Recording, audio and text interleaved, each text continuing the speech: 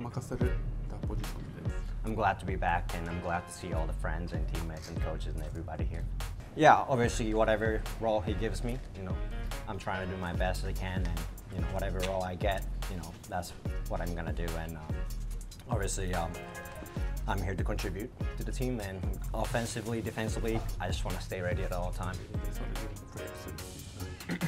I think um, it all comes down to you know, accepting the difference. You know, obviously there's a difference between Japan and the U.S. So I'm trying to adapt myself and trying to accept my uh, accept the difference was the adjustment that I made last year.